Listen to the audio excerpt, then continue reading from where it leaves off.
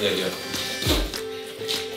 Hi, Tim. Hello, Adrian. Do you- And it was predict Oh, something smells amazing in here.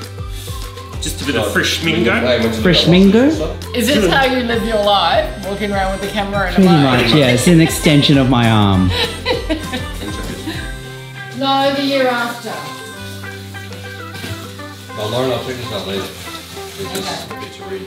Yeah. It's like a news site, isn't it? Why, why are you filming Fiona's think Sorry. I, I, I'm taking it to Fiona.